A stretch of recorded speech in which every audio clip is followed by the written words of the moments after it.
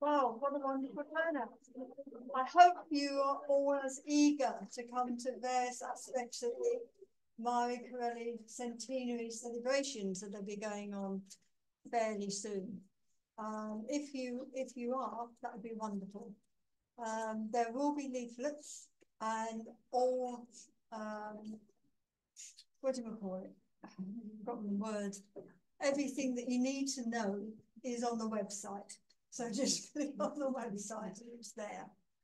Okay, I've just got a couple of things to say before we start. Um, if anybody wants to do anything with their family history, there are flyers around um, about some workshops that are going to be run by a member of the group um, in May, later in May. And if you don't want to do it online, if you let her know and there are enough of you or enough people who want to do it face to face, she will organise something face to face. Um, and also on the 20th, the day of the birthday parade, the Stratford Society isn't going to have a presence, but in the afternoon, three o'clock, Evesham Cemetery, there's going to be a small ceremony at Marie Corelli's grave. The mayor's going to be there, um, Nick's going to read a poem, and Kate Rolfe, who is the mayor, is going to lay some flowers. That, that's on Sunday, twenty-first, on the Sunday. Are you sure? Yeah, yeah, yes. Okay, yes. right, I stand corrected. It's, Su- it's Sunday, It's like somebody knows what's Sunday the on twenty-first, three o'clock. Right, At Sunday the 21st, three o'clock. the cemetery. at the cemetery, yeah. Okay, great, thanks, Steve. Um, I think that's about it. So Bob, who's been waiting patiently, thank you very much. I think you all know Bob Bearman. He's been around for Reverse it.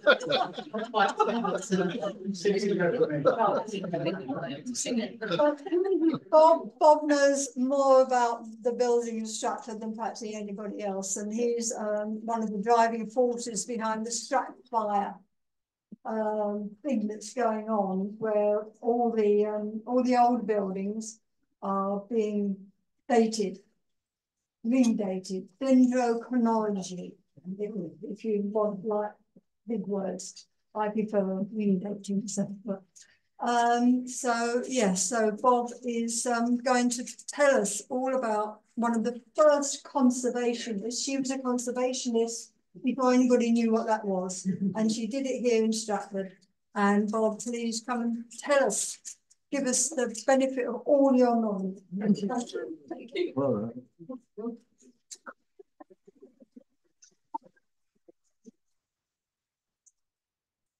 Can you all hear me?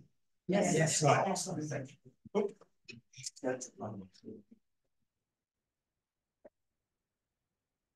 Well, I apologise to, to start with in case I'm uh, teaching, I'm, I'm saying things that you all know about. But um, Marie Corelli, who uh, lived from 1855 to 1924 and was um, a legend in her lifetime, having made something of a fortune as a novelist when in 1899 she decided to settle in Stratford. She's always been well known to um, local audiences, of course, but over recent years, there's also been um, there, there, there's also grown up a wider appre appreciation of her work. Indeed, several, several of her, her books have been reprinted, reflecting the fact that she now has quite a following. I have two confessions, though. Firstly, I've not read too many of her books, but in my in, in my defence, they are variable. and secondly, I don't intend to say much this evening about her professional writing career. What I want to concentrate on uh, this evening is about her professional, um, is about her, uh, what's, what, sorry, what, what, I want to concentrate on instead is, is what struck me some time ago, that what um, characterised many of her activities in Stratford very much reflects the aims of the Stratford Society today, you know, pledged as, as we are, as one of our objectives, to protect the town's built heritage. He was someone over a hundred years earlier who was amongst those who took up the cudgels for such a cause. And her financial success as a writer made her fearless in expressions, expression of her views. And we'll see this got him into trouble with the people then running the town. They sought to make sure by various means that her eccentric, even bizarre behavior is how she would be remembered by posterity. Well, I'm sure, I'm sure she could be impossible at times, but all the same, what intrigued me was how she'd used her fame to make a stand for Stratford's heritage, and in doing so, had taken on the necessary task of confronting the establishment. Uh, this wasn't a, um, you know, the popular issue that it is today, or at least it wasn't with the people who were making decisions about the future of Stratford. But she wasn't slow to challenge them when she thought they were making mistakes. And I will, of course, have something to say about her life and writings generally. It's what she sought to achieve as a conservationist, particularly in Stratford, that I intend to focus on. If you can the first slide, Mark. Marie Corelli died at her home, Mason Croft, on the 21st of April, 1924. Now, Mason Croft, of course, is the fine Georgian house in Church Street, now the home of the Shakespeare Institute, which bears a blue plaque and a stone set in the pavement to remind us still that this is where she lived for some 25 years. She comes to Stratford aged about uh, 45 at the height of her, her fame. And in some ways, I suppose, her residence in Stratford could be said to coincide with a comparative decline. And this is to some extent still reflected in her reputation amongst Stratfordians today. That is, as someone remembered for her eccentricities and not for her achievements. This was due largely to the fact that in her efforts to protect Stratford's heritage, she upset leading figures in the town by making sure that her views were taken up by the national press. One tactic for them was to draw a veil over what she had achieved, focusing instead on such things as her importing a gondola. Um, have the next slide? Um, and an alleged gondolier from Venice to use on the Avon. Also, her sentimental attachment to a pony and trap, which carried her about the town. Can we have the next slide? Now that's that's a, a, a, um, blank screen so I can uh, make sure you aren't all going to sleep. but um, Mar Mari's, Marie Corelli's position as far as Stratford was concerned was a simple one. She loved the historic feel of the town and made it her personal mission to preserve this feel, if not to improve on it. And more to the point, to cry out against any attempts to despoil it.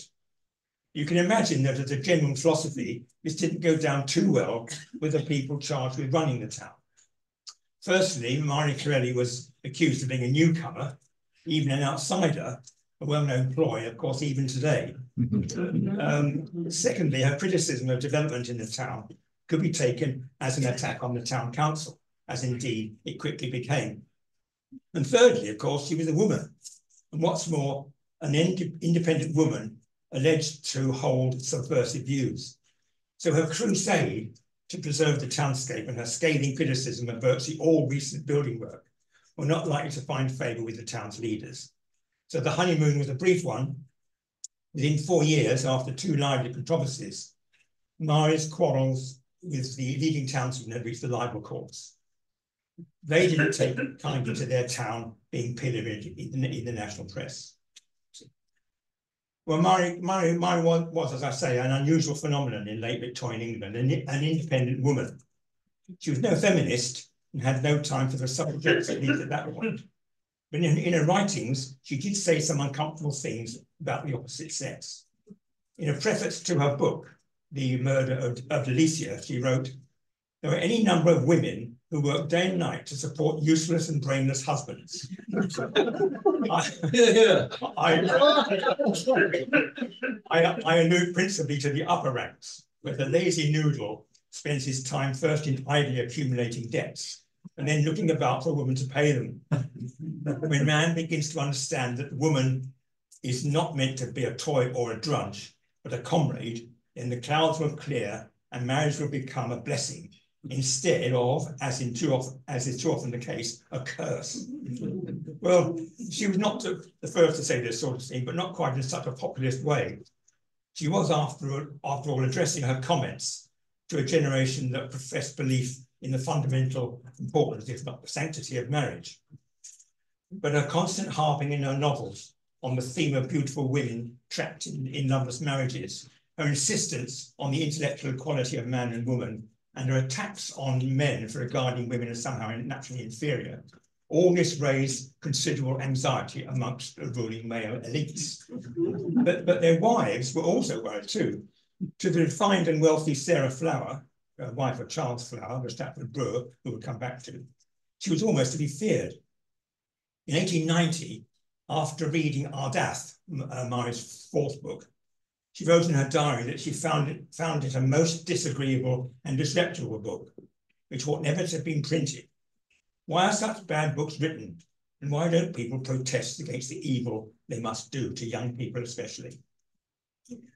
Anyway, we should hardly be surprised then that she ran into problems, made worse no doubt by her prejudice and vanities, but arising out of a deeper antipathy between her and those men who, in their view, deserve respect rather than outright, crit out, out, outright criticism. Can we have have the next slide on? Marie, Marion, Marie Corelli, on first coming to Stratford in May 1899, took a lease of Hall's Croft in Old Town. Uh, this is how it looked in her day. Um, if we just go on the next line, right, we can see we can see how it probably looked, probably looks like today. She'd been ill for most of 1897, culminating in an off operation at the end of the year. A spell in the country was prescribed, so she settled on Stratford, where she had spent several happy weeks in 1890. By July, she was accepting public engagements, and by the end of the year, had established herself as a public benefactor and a patron of the arts. By October, everything seemed fine. Miss Corelli, uh, declared the Stratford Herald, is a very busy and very unselfish lady. To a lady of her literary ability, time means money, and a day withdrawn from work represents a rather considerable sum. But Miss Corelli has shown that she is not a money-grubbing novelist. She is ready to assist both with her purse and her ability, any cause which needs her assistance or advocacy. So it was with great pleasure that the local newspaper was able to report on the 5th of October in 1900 that Marie had decided to make Stratford her home by purchasing Mason Croft. That's, that's how it looked in her day or the time she died. And then just just the next slide. And, and that's of course how it says today. A, lady who has done so much for the town enthusiast, uh, who by her kindly acts has made herself so justly popular, cannot well be spared. But in the next few weeks, there were developments which began to which began to worry some people. Earlier in the year, Sir Theodore Martin an elderly but well-respected lawyer, had attained, had attained permission to erect in the chancel of Holy Trinity Church a memorial to his late wife, the famous actress Helen Faucit, who had died in 1988. Come in, next slide. Sorry? 1898. We presented a pulpit to, to the church in her memory, which for various reasons had become a matter of controversy mainly because one of the figures represented on it was thought to be his former wife. Quite unsuitable in a church, some felt, because of her profession. Undeterred, Sir Theodore wanted to do something more. He proposed a memorial seven foot tall and three foot wide, and I think this is on the next slide. Um, seven foot tall and three foot wide to be placed on the wall of the chancel, and crucially, opposite um, Shakespeare's much smaller bust. the feeling was, and many people today might still agree, that such a monument was over the top. And it is indeed extraordinary, given the controversy of the pulpit, that permission for it was ever obtained. On the 24th of October, only days after the Herald had given out the glad tidings of Marie's purchase of, of Mason Croft, she caused a storm by raising the issue of the proposed memorial in the national press. She alleged that there were thousands of people in Shakespeare's native town who most indignantly resent this intrusion into one of the most sacred of English shrines as an outrage. Next slide. The instant press coverage revealed her potential as a formidable champion. The London Examiner, Examiner, the Whitehall Review, the Birmingham Daily Post, the Birmingham Gazette, the London Weekly Dispatch, to name, to name just a few. And now, in fact, I doubt whether there really were thousands of Stratfordians. but the Herald remained supportive, and Murray was able to introduce a whiff of conspiracy into, into the debate by suggesting that Sir Theodore may have bought permission to erect the memorial by offering to pay off a debt of £500 on the Church Restoration Fund. Under strong attack was Sir Arthur Hodgson. Next slide. The squire of nearby Clopton House, a personal friend of Sir Theodore's. Mari, in an important interview with the Birmingham Daily Post, portrayed herself um, as the champion of the ordinary people of the town. She alleged that the only criticism against her was due to a sort of feudal system which prevails here. Sir Arthur Hodgson is in a position of authority and can sit on these people here. In, in a letter, she struck a similar note. My experience in Stratford's town showed me how tyrannically some of the wealthy dominate over their poorer brethren, who are more than their equal, equals in worth, if not in purse. Amongst these, she included the Flower family, who'd done very well out of the brewery they'd established in the town in 1830, revealing to the national press that Archie Flower had refused to sign her petition against the memorial scheme. This petition, headed by the Earl of Warwick, already had 500 signatures. To fan the flames, Murray had posters printed encouraging more to sign up. After a fortnight of fierce debate, the unfortunate Sir Theodore gave in, and on the 5th of November withdrew his proposal. Instead, he gave the memorial to the theatre, where it can still just about be seen if you know where to look. That's actually in the Swan Theatre. Um, oh, oh, um, I think it's over the staircase. Mm. So Mari had won her first battle in Stratford and rubbed her opponent's noses in it in the most provoking way by paying off the church debt herself. now, Mar Mari saw her victory as the triumph of the people over small male oligarchy, who, if she'd not been there, would have got its way. There may have been an element of wishful thinking here, but the fact that her petition attracted over 500 signatures must have meant something. And a crusade against such establishment figures as Sir Arthur Hodgson was a novelty in itself. For it to have succeeded was remarkable, and for the successful campaign to have been run by a woman was even more surprising. In any event, Mari's defeat of the scheme um, does a lot to explain subsequent events. Mari had successfully made the point that those who, through their social position, were in, were in the best position to defend the town in a wider context, were, in her view at least, not to be trusted. Now, the um, Faucit Memorial was not, in fact, the first local issue that Marie Corelli had interested herself in. At the beginning of 1900, there was talk of filling in the old canal basin immediately in front of the theatre on ground. Uh, can we have the next? Uh, on the grounds that it posed danger to children and to the townsfolk's well-being generally, due to the offensive odour, arising at times from the stagnant water. As early as April 1900, Mari took up the job of defending the basin, which she claimed acted as a picturesque reflective mirror for the theatre building. I mean, looking at early views, um, she had a point, I think. But the corporation pushed on with the scheme, creating in the process a far worse health hazard by allowing household refuse to be tipped into the basement, as well as builders' debris. As the stench grew, so did public protest. And in December 1900, the controversy reached the national press um, Marion, of course, had taken the lead in organising another petition. Can we have the next slide? We, we, we, the undersigned, deeply regret that the ornament, ornamental lake in the Bancroft Gardens is being filled up. This lake was, was formed and the grounds laid out through the generosity of friends at great expense, to unite with us in believing that the general appearance of the gardens will be greatly marred by the removal of this lake.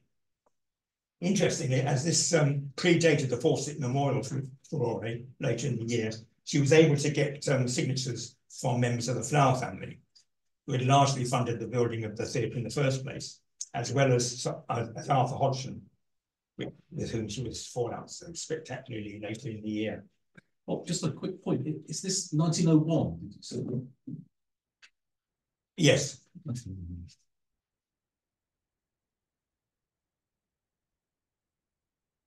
Uh, the, following, um, the, the following September, she fired off one of her typical letters to the Herald.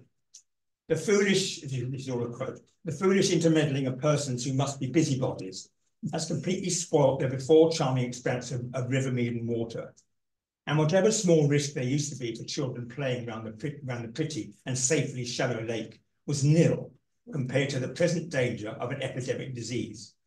Typhoid, scarlet fever, diphtheria, and measles are all in the process of comfortably undisturbed germination in the stagnant mud, which is all improvers have left us of the mirror of the Memorial Theatre.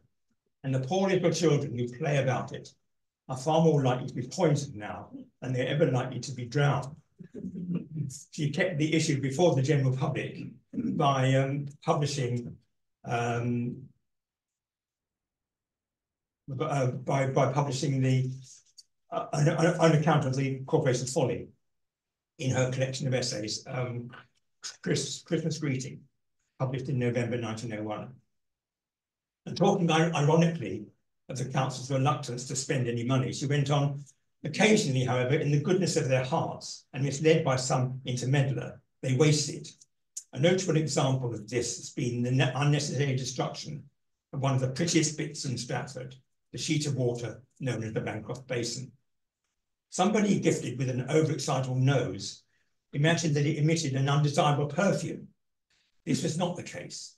It was only the nose that was at fault. but since the unfortunate and innocent piece of water has been ruthlessly drained out and filled up, it has revenged itself by becoming a perfect, perfectly distillery of objectionable odors.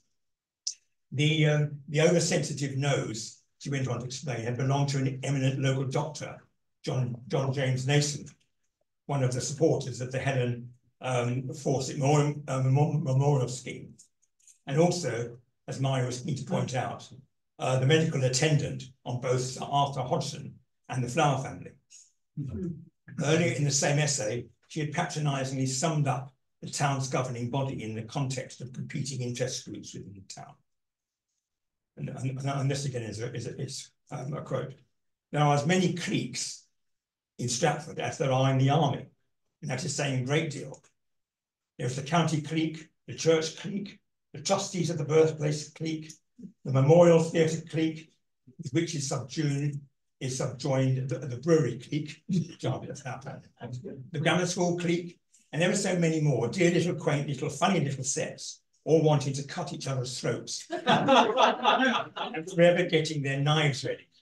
And over them, over them all, serene, invincible, leisurely and bland, rides the corporation, fully conscious of its power and entirely aware that its long historical record makes it a very suitable object of respect indeed.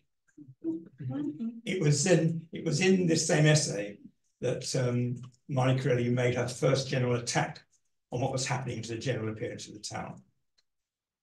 All the new build, all the new things built in Stratford, she declared, singling out the recent, uh, recently opened Lloyd's Bank in Bridge Street. Can we have a couple of slides? Then?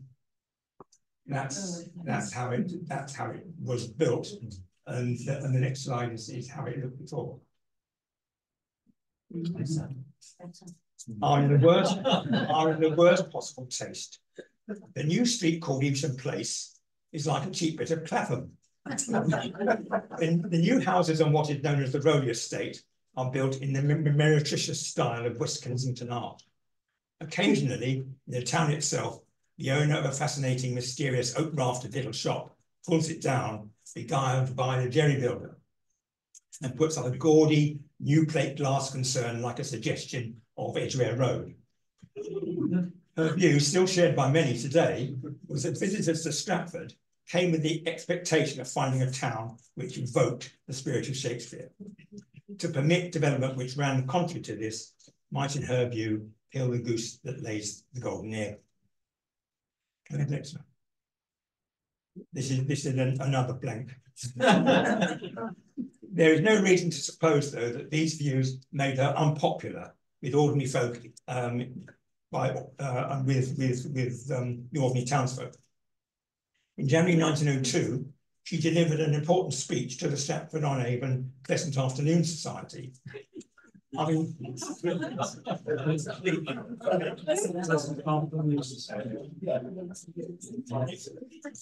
uh, today, the very name makes makes us smile, but in, in their days, in, their day, PSAs were quite controversial.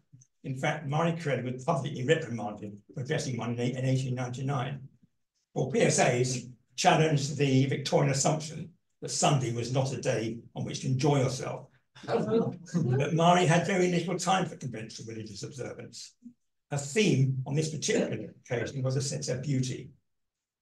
Now the, now the local newspaper, the local newspaper commented on the large attendance, only to be expected when such an eminent person was to, was to deliver the address.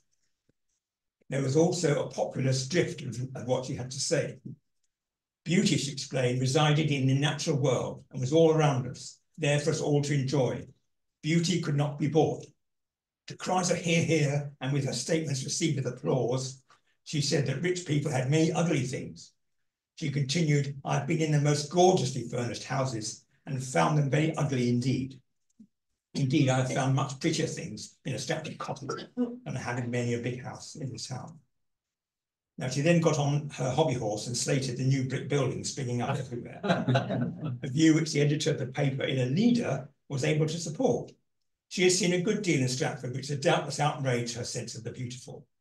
Miss Corelli does no harm and may do some good by hammering away at the hideous jerry-built shanties which find an existence in picturesque Stratford.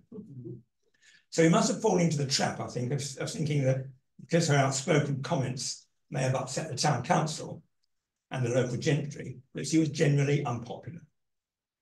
In March 1902, she attended a town football match wearing the club colours and received quite an ovation. On her birthday in May, she received bouquets from the town's two primary schools.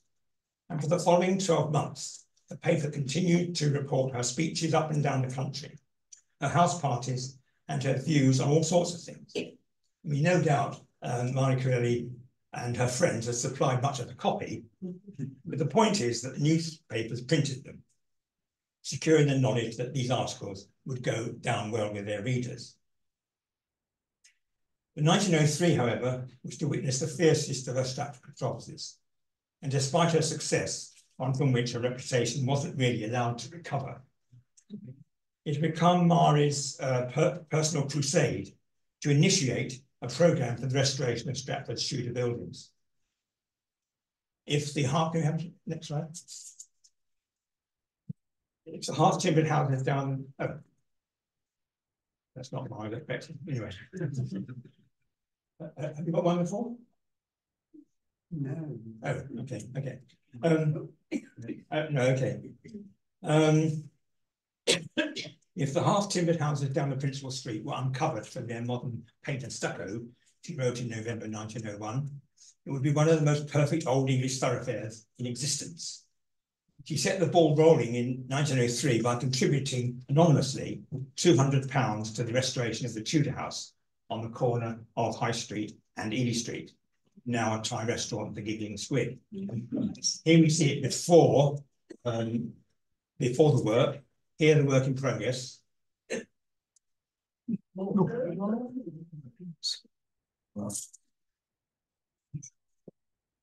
And then, how, how it looked after the um, after the work, and finally how, how it looks today. So you can imagine her indignation when she discovered late in 1902 that the Town Council and the Shakespeare Birthplace Trust were jointly planning the extensive demolition of buildings in Henley Street on the back of a scheme to build a public library. Even worse, this was to be mainly funded by the American or so um, the, the, the American millionaire Andrew Carnegie. In fact, he was Scottish by birth, but by then was largely resident in, in, in, in the US. She first, or so she claimed, tried private persuasion on the retiring mayor, Archie Flower. In February 1903, when it at last became clear that five cottages adjoining the uh, adjoining the, the Shakespeare birthplace, uh, the Shakespeare's garden, um, were to be demolished. And then she eventually broke her silence on what I considered a national scandal. Her letter in the Morning Post took, at least by her standards, a moderate line. I know I am only expressing a very general and deeply felt opinion in England that when there are so few old world, old world towns remaining unspoiled in England, the birthplace of Shakespeare should at least be guarded more sacredly for the nation than that a portion of its most historic street should be left open to the easy purchase of the mere millionaire by a PC going to Marie's letter immediately made the issue a national one, and a fierce controversy arose. Archie Flower immediately wrote to the Daily Post, claiming that the houses in question were not old at all, and would therefore be no loss to the town. But this turned out, in fact, to be untrue. Only two in the row turned out to be quite modern. Next slide.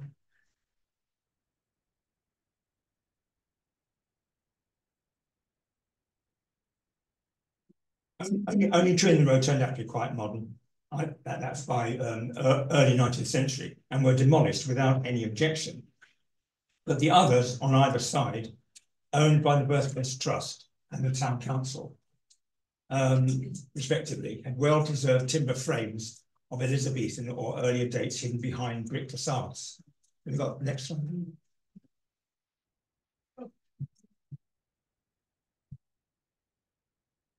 When in May this became public knowledge, things had gone too far for an amicable settlement. But Marie had been forthright in her criticisms of the town council and the birthplace trustees.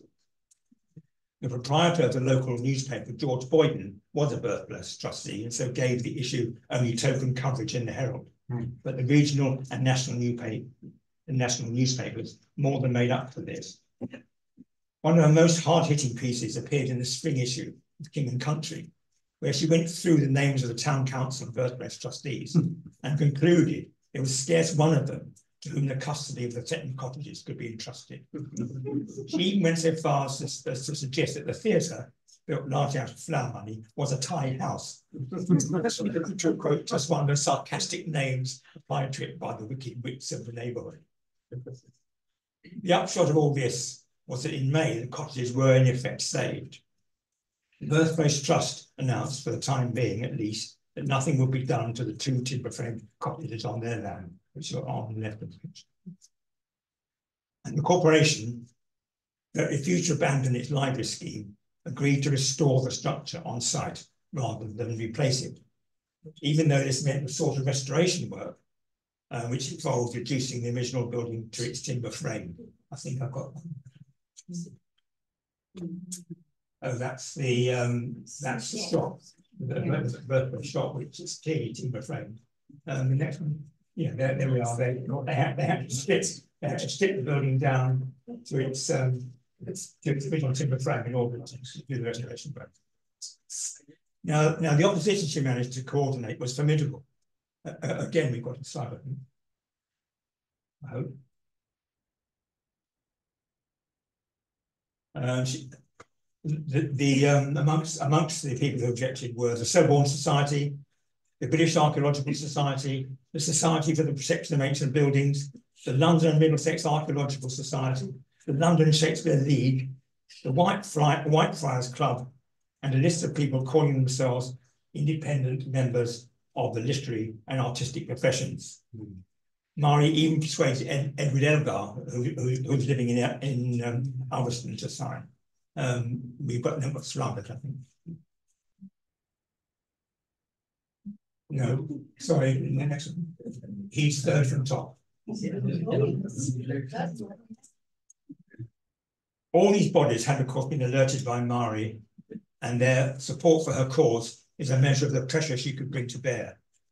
In October, the Birthplace Trust finally agreed to retain the two cottages on their part of the site after, after debating a motion lost by two votes that they be razed to the ground.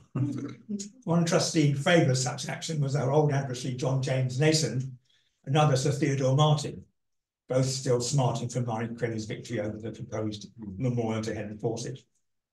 So major concessions had been won.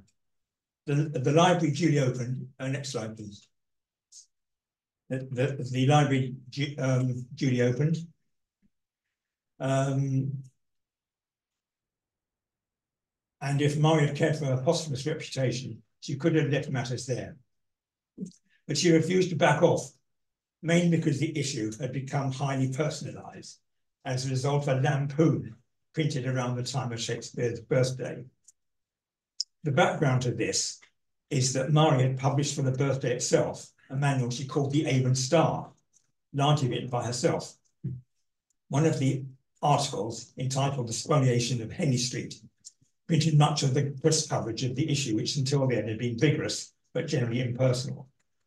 But shortly, shortly afterwards appeared the Lampoon, entitled The Errors of the, of the Star. Uh, this was an, anonymous, but written by, by Harvey Bloom. It picked, it picked numerous pedantic holes in Marie Corelli's manual, mocking her education, hinting at her illegitimate birth, and generally making her a figure of fun. Her reaction, of course, was to become personal too. And it was from the publication of, of this lampoon that her attacks on individuals began, including the mayor, Archie Flower. In May, she delivered these words to the OP Club in, in London. We have heard of big trusts, trusts that spring up in the night, like mushrooms to wither in the morning, trusts that are spun like gossamer and are dispersed with the first uh, adverse wind, trusts like unsuspected quicksands, absorbing men's lives and fortunes into oblivion, trusts that may be for all we know solid as rocks. But the most curious trust anybody has ever heard of is surely the Shakespeare Birthplace Trust, which by Act of Parliament in 1891 is stated to be on behalf of the nation, but which has now become entirely involved in, in a brewery company. Nothing can be suggested, resolved, or carried out at Shakespeare's birthplace without the authority of the principals of the brewery.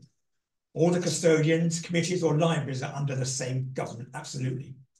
The nation is represented there not in the form of consideration and respect for the poetic term, but for the se uh, beer barrel. there, there was more in similar vein, and she also commenced proceedings in the High Court against the Birthplace Trust for dereliction of duty.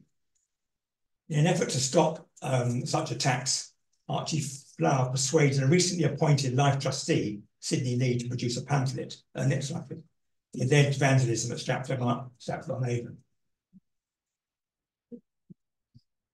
Mar Marlin rejoined with an equally good, if not a better one.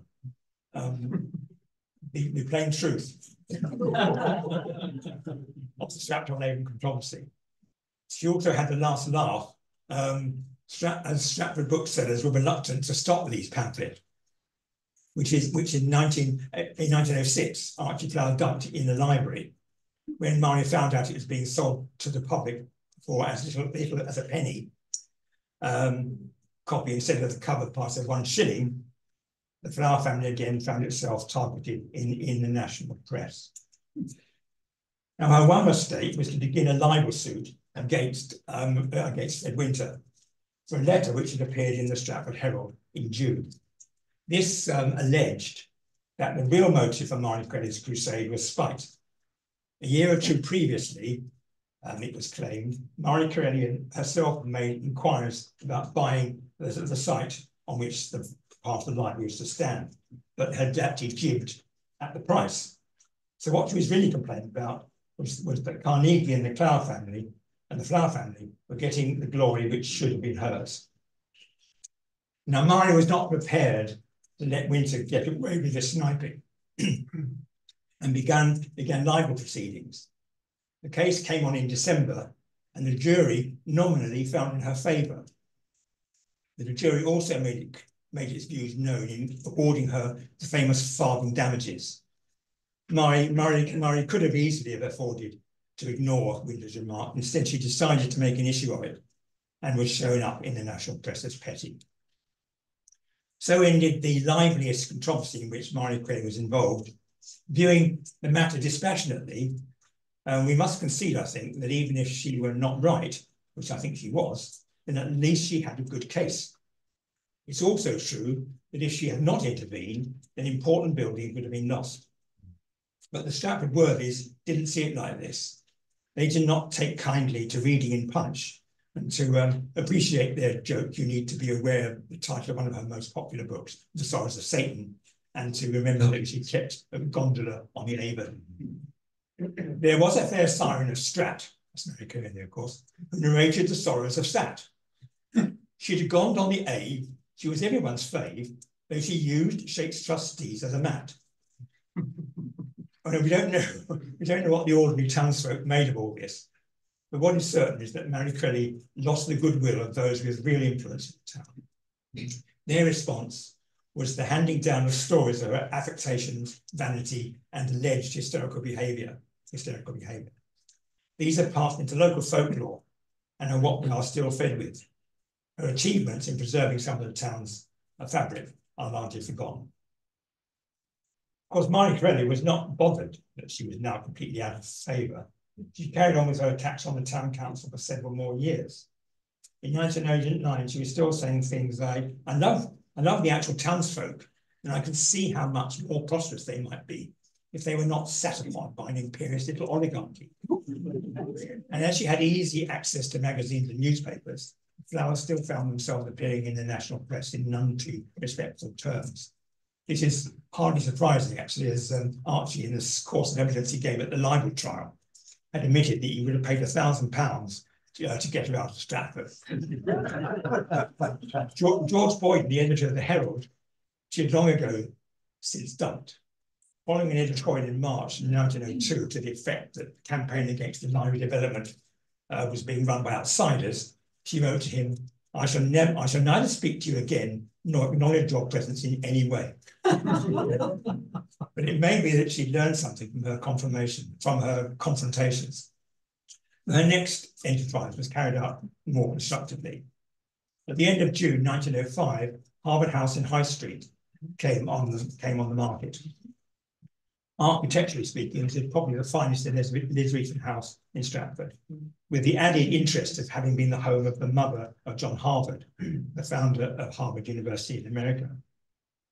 During the library controversy, of course, Marie Corelli had invaded against, against all things American. Um, I consider, yeah, next slide. I consider, oh, there ought to be one before that. No? Okay, well, um, well, uh, this was actually, uh, uh, this was an attack on Carnegie. Um, I consider, she said, that a man who ordered ordered out Pinkerton's police force, um, as Carnegie had done, to fire on his workmen when they were on strike, has no right to be associated, even in the remotest degree, with the street wherein our greatest poet was born the the uh, the fountain in in the Rother Market next slide unveiled in 1887 as a gift from America. She described as the of, of as of the ugliest possible small design and make. It looks as if it had been hewn out in a fit of dull in a fit of dull abstraction by a man of the stone period. And as recently as January 1905, she declared that she would not visit America until the press is conducted by gentlemen. However, this didn't prevent her later the same year from persuading Edwin Morris, um, son of a millionaire meatpacker from Chicago, to buy Harvard House as a clubhouse for American visitors in Stratford. She had met Morris in the summer of 1905 whilst cruising on Grocer Thomas Lipton's yacht and got sufficient assurances out of him by the end of July for the purchase to go ahead. Here, here is on the right, if you can just see her wearing white. Um, um, and um, with um, Ed, Edwin Morris on the left. The deal was finalised in December and a programme of restoration drawn up. I mean, this may all this may all seem rather two-faced. On the one hand, we have Mary Corelli insulting Americans. In 1903, she stated that Americans were for the most part ill-mannered and illiterate, and singularly uninteresting in their con conversation. But on the other hand, she was wheedling out of one of them a very considerable sum of money. But she was unlikely to have persuaded an English to the, uh, the, building's, um, the building's rescue. In any case, she had no intention of seeking help close to home. When trustees came to be appointed to run Harvard House, she was adamant um, that nobody from the town council or the birthplace trust should be included. In fact, the arrangements for the official opening uh, four years later, in October 1909, were a deliberate snub to the dignitaries of the town. She achieved the very real, very real success. Can we have the next one? Um, she achieved the very real success of, of getting the American ambassador to perform the ceremony. A specially chartered train brought him and other distinguished guests from London to Stratford, where he was greeted by Marie Corelli. He, he, he was then whisked off to Harvard House for the opening ceremony uh, and then to Mason Croft for luncheon. She could not get away with not inviting the mayor, but he played no part in the proceedings. And at the luncheon didn't even make it onto the top table. and no, no other Stratford person was asked to make a speech, give a vote of thanks, or even propose a toast. In fact, none, with the exclusion of the vicar and the mayor, appears to have been even invited. Now, we may think Mary was being petty, perhaps she was, but to the world at large, she was portrayed as the enthusiastic defender of Stratford's precious buildings. Restoration of Harvard House was Mary Corelli's last uh, major effort in the field of conservation or or or, um, or preservation, as she would unashamedly have called it. Still in 1910, she purchased the first garden. Oh, okay. Uh, uh, uh, right, next, next, next, next slide. Okay. She purchased the first garden in, in Rother Street, which is still there next to the police station, with a sole desire of preserving this beauty spot in the hands of builders and preventing the destruction of the fine old trees that are enclosed there. And in the spring of 1913, she was the major speaker at the launch of the Guild of, the Guild of Stratford-on-Avon, a body belatedly set up to protect the town's heritage. The fact that she was invited to such a meeting, albeit 10 years after the library controversy, is a, is a sure indication that her views on Stratford had at least been shared by some local people. She could not help reminding her audience of the, uh, of, of, of the battle she fought. I would only hope that the good citizens of Stratford will realise fully the importance of the stand we are making we are seeking to make against the destruction of the town's old world reputation and beauty. Stratford must remain in history as unique in itself. We do not want to de uh, degenerate into a mere suburb of Birmingham, um, to which there was applause. to her indignation, she discovered soon afterwards that meetings of the Guild were being held without her knowledge. She wrote to the secretary, I hear there is to be a meeting of the Guild tomorrow. I've not been asked. I should like to know if I'm to be I'm to be deliberately left out of these things. If so, I shall withdraw my name entirely. Now the secretary, um, Fred Wellstood, persuaded her that being a vice president, she need not attend their committee meetings. And for a while, she remained a committee supporter, firing, firing off letters from time to time, asking, for instance, what the Guild was doing about the demolition of some cottages in Waterside. It was, a, it was far-sighted on her part to recognise the value of humble buildings of this sort and the contribution they could make to the town's appearance, even at a time when they faced not onto gardens, as they do today, but on a derelict canal basin. That they were destined to go to make way for um, a garage and now for this. Yeah. A last contribution to the Guild's work was to make the largest single donation for the restoration of number 30 High Street. Next slide. This was a particularly um, difficult thing for her to do. as to the, as the property by then was owned by Fred Winter, against whom she bought the infamous libel case 10, um, 10 years earlier. At first, she promised a donation, only on condition that Winter would admit that she was paying the lion's share and that he wished to be represented in the local press as merely consenting to help Mr. Winter. But she confided, she confided to a friend involved in the project. I do not suppose, I do, I do not suppose Mr. Boyden will put it in, that's put it in the Herald, as he invariably distorts every state, statement made about me. But I shall expect you to insist on the thing being properly worded, considering the very exceptional circumstances under which I'm doing the town this service, after the libelous concoctions of Sidney Lee, Flower, Boyden, and Winter, in connection with my saving the Shakespeare property in Henley Street. The press release eventually read, in the present instance, the Guild is indebted to the generosity of Miss Marie Corelli, one of its vice presidents, for the largest share of the cost incurred in this um, in, in, in, in, this restoration. Going on the next slide. Yeah. Um, well, some some people clearly come to regard Marie Corelli as impossible. and there can be no doubt that she could be both passionately outspoken and unpredictable. But it's by no means as certain that her unpopularity with her Stratford critics was entirely to do with her character. It may instead have been rooted in her saying out loud what her critics did, did not want to hear, or rather what they did not wish to be a matter of public debate. we might be tempted to believe that she could have realized her aims by more seemly and reasoned debate. Experience shows, though, that this might well be wishful thinking.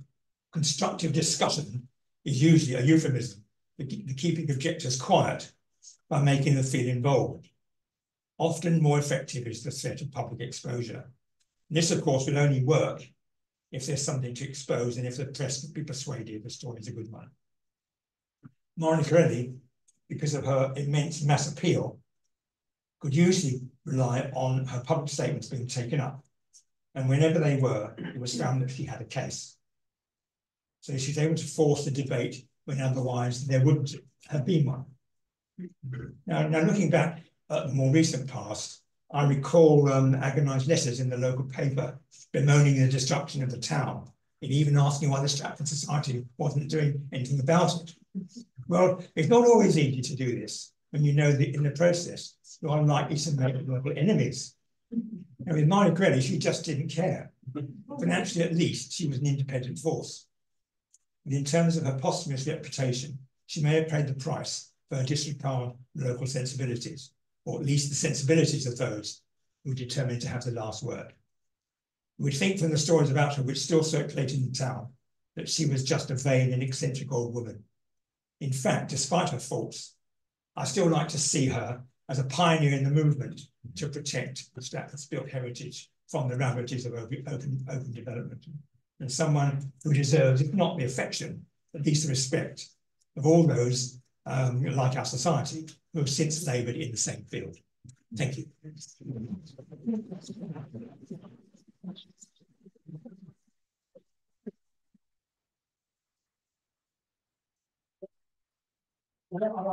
Any questions?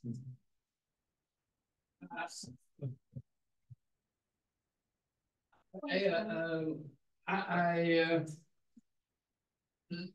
when I first came to Stratford, I lived in lodgings in Chestnut Walk with a lady called Miss Gibbs, a very formidable lady who was already in her late ages then, and she'd known Marie Corelli quite well.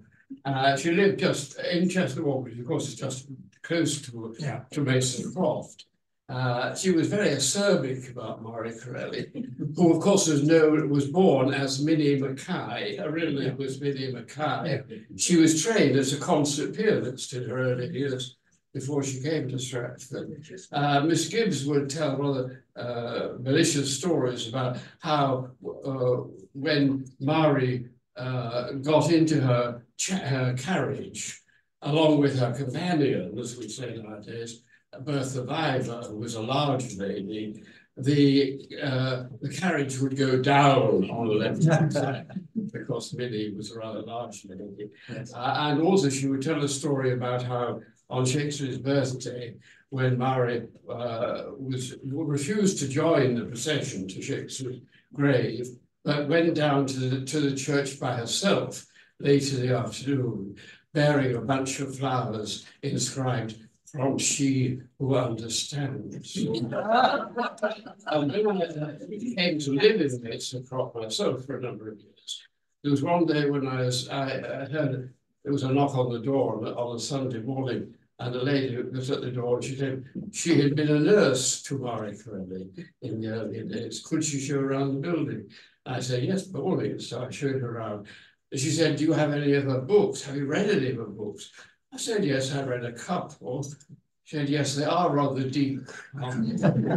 so I felt probably put into my place. but, um, but she, she, there is, of course, as, as I'm sure Bob knows, uh, an interesting biography of her by Brian Masters, which uh, tells the story of her efforts in Stratford. And she was an important figure in the conservation of Stratford, as Bob has quite rightly stressed.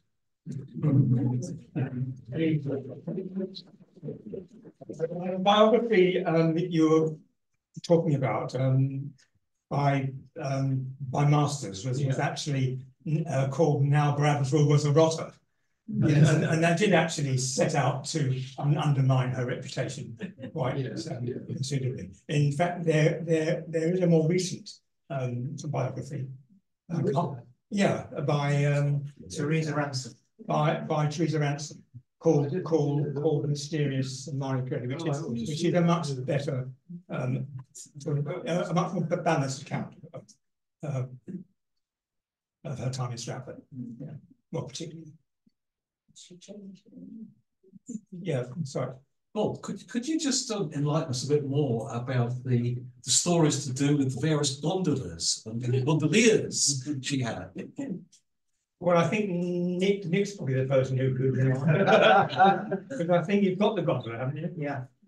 Um, the gondola actually, contrary to um, what's what, what is said in a lot of the biographies, actually didn't she didn't order from Venice. It was built for an Italian fair at um, in London in 1904 by gondola builders called Fasal, and they um, and it was sold after the fair at auction, and Mary Corelli uh, went down and bought it because she thought it would be picturesque on the river. She generally loved boating. She did have a punt on the river before she bought the gondola, and she used to keep them both down at Davis's boat hire um, just by the ferry. And Annie Davis, the old man Davis's daughter, was her secretary, of course, who also part-time at the technical school next to the library. But um, the gondola came up from London with a gondolier who probably came from Venice, who was a genuine Venetian, who'd come up for the fair and got brought, brought up here. Um, and he used to lodge in Old Town um, and got soon got bored. He used to drink with the colleagues from the boat club in um, in the Dirty Duck, and apparently got into a, a fracas with someone and pulled a knife and Marion immediately dismissed him. Mm. And Ernest Chandler, a gardener, became the gondolier uh, fairly soon afterwards. Sadly, he was killed in the First World War at Arras, and uh, she never used the gondola after that. But before that, in 1910, um, she struck a medal for the first English gondolier, which is still in possession of um, his descendants uh, which was a charming little little bit. I mean, she generally did love the boat. But anyway, that's that's the story. And we actually did find the original order for the boat in the Venetian State Archives. My colleagues in Venice, we know it cost 1400 lira, and it was one of 15 gondolas that, that were ordered and taken to London, but this one was the deluxe gondola. It's not Paul It's not Paul It's, sorry, yes, that's the other. Thank you, Lindsay is extremely un unusual because gondolas are normally 11 meters long, just under 11 meters, but this one is just over 8 meters long. It's a two-third size gondola. It's, it's absolutely unique now. And the Venetians are fascinated by it because when I told them, oh, we've got a, you know, 8 meter long gondola, they said, silly. so it's the only one in existence. So it's, it's very, very rare from that point of view. And we have its historical precedents and its um, you know its origins going right back to 1904. You're displaying it, aren't you? We're hoping that it might make an appearance on Sunday in the mayor's parking space outside the town hall. We'll see, we're gonna try and get it a parking. ticket.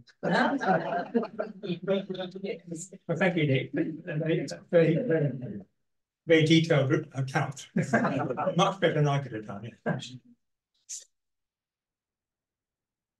Regarding biography, there are some splendid anecdotes about uh, Marie Corelli in Ursula Bloom's book. Yeah. Uh, is it Rosemary for Remembrance? Um, I think it's Something of that either sort. Past an Extraordinary or, um, And of course, she's the the, she was the daughter of Harvey Bloom, Yeah, who, yeah. who wrote the Lampoon. yeah. But, um, I mean, one has to take what she says with a pinch of salt, I think, because she fell out, she fell out uh, uh, disastrously with, with the family. Um, because her daughter allegedly, um, Ursula, had, had been invited round to tea by, uh, by, by Marie Corelli. And she, and the child asked, um, are you a divorced woman? And that, of course, would have been impossible, but, well, she couldn't afford to, um, um, well, the, very fact that people were talking about her in the town as divorced um, would have been um, too much for her to bear.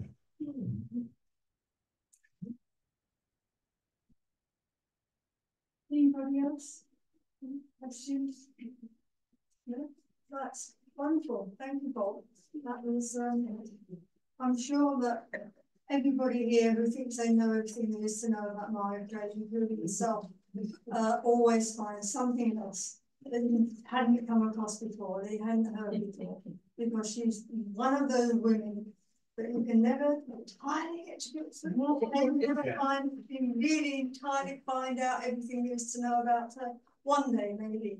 Um, when they have the centenary of her birth, which unfortunately we can wait for. Um, so, but, uh, yeah, she's endlessly fascinating and I hope you'll all attend at least some part of the Corelli centenary, uh, either at Harvard House and on Town Hall. And there will be, Elmet, if you go on the Stratford Society website, you can find out all about it. Kevin? I, I would like to just make a comment, if I might, somewhat controversially. Uh, one does wonder, given what is happening to Harvard House, if she wasn't quite forward thinking in not wanting it to be placed under their care. Because the building is sitting there without any real use, albeit having been intended as a, from what I hear, a, a club, a country club for visiting Americans. And maybe there is a need to learn that if you're going to attract contributions uh, in terms of the modern society to keep things going, you've got to do something to make that happen. Yeah. And the current uh, uh, use of the building is really pretty pitiful. Yeah, but the, They are using but- for schools. Um, but, but the irony, the, the, the irony of that, um, Kevin, is that the, um, it is now owned by Harvard, by Harvard University. Yes. And they, Yes. and they won't contribute anything. Yes, to- I- to- but- to- but it's And it, and it also, and it is actually in the, in the birthplace trusts, um, they, they hold it on, on a, they do, um, a perpetual rent. they do, So it's come back in, into their possession. they do, but there have been some, uh, in the last few years, suggestions of alternate development use. And it doesn't feature quite understandably at all, very importantly, where the problems that the birthplace has got in other things.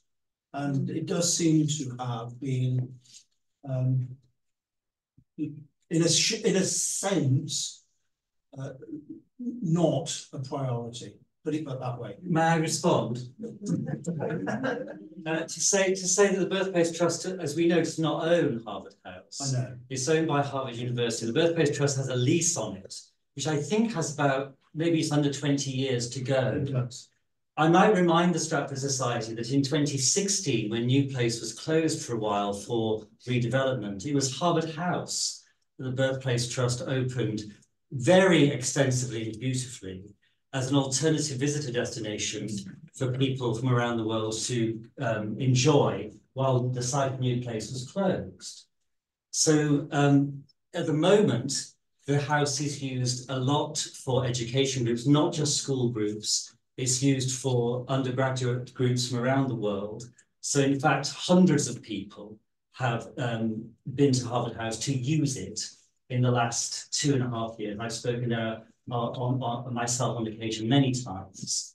Um, and it's, it is the fact, and Bob will recall this, that Harvard University have blocked suggestions, perfectly good ones by the Shakespeare Birthplace Trust, in my view, to develop Harvard House and to um, open it up more.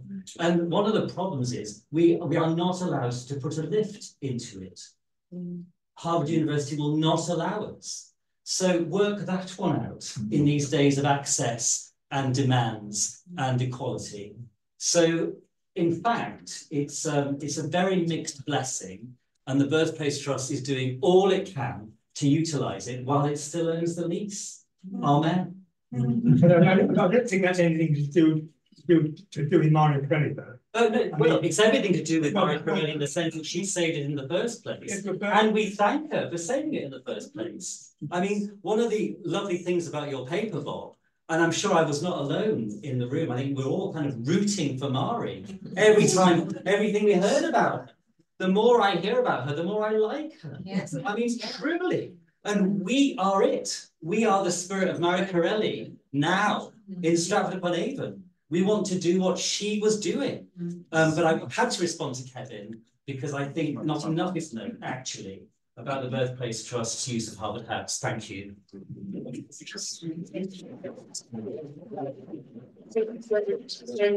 Bobby, on that spirit thought, please join us on Sunday at three o'clock in the cemetery for the hundredth anniversary of her death. And there we'll be laying flowers on the grave. That's a beautiful thing to be doing. Thank you, Stratford. In fact, I, I, I think I am due, due to be, um, leading a walk, aren't I? Yes, Yes, you are, as on part the of this. Monday, on the Monday. Right, Yes, yeah. Um, Um, round, round, round, round. May. Quite like. It's later. Yeah. Lighting all the, um, the places that are. It- It's not during the festival, it, it, No, no, no, it- no, it's in it's May, on isn't the, it? on the back Monday, Monday. yeah. First Monday in May, isn't it? Yeah, Yes. the first, the festival, the Lit Festival is finished by then, and our exhibitions in Harvard House and the Town Hall will finish.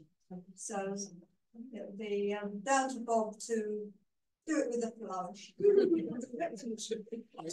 I get read any of her novels. Yes, Oh, you can't.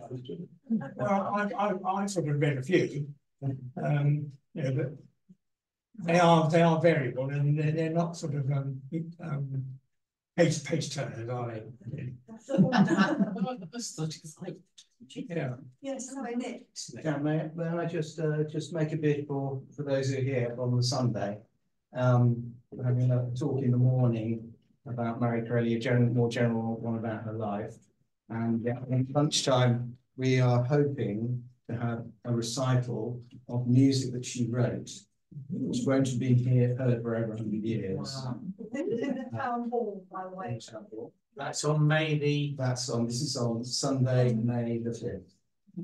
Uh, the bank holiday weekend, so that's still subject to, um, to confirmation because, uh, a very well-known local pianist and, uh, and, um, a, a, a colleague are, are getting, getting organised to play music, but all at short notice that the academics are dragged out of archives all over the world, so it should be rather fun.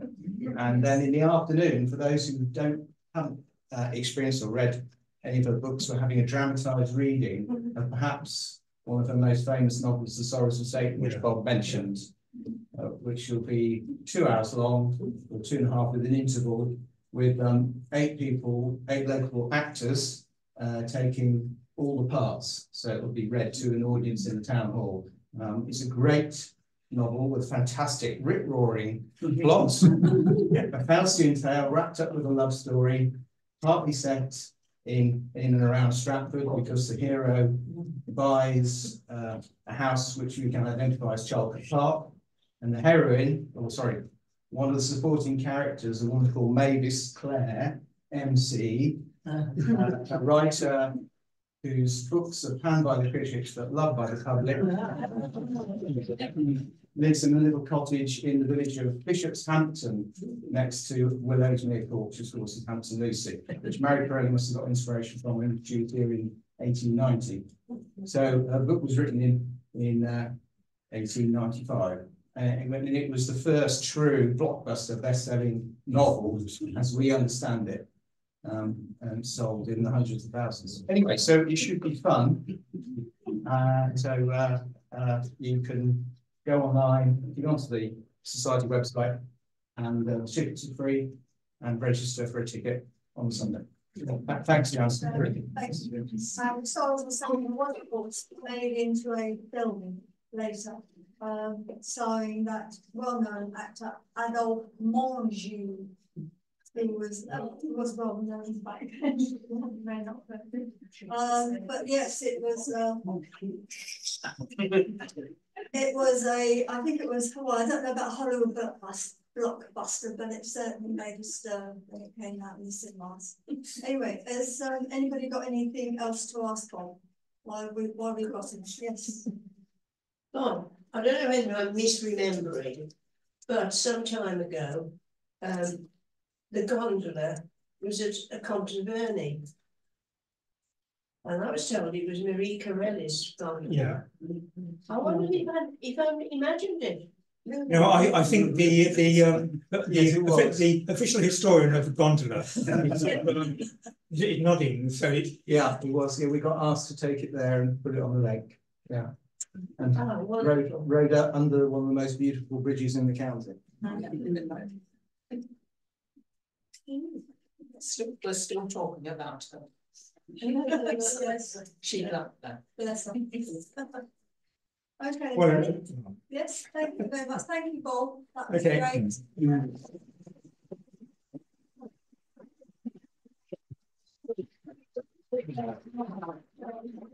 Thank you all for coming and don't forget, to look out for the flyers and the posters, all for the in new celebration. And I hope to see lots of you during those uh three days. Okay, thank you.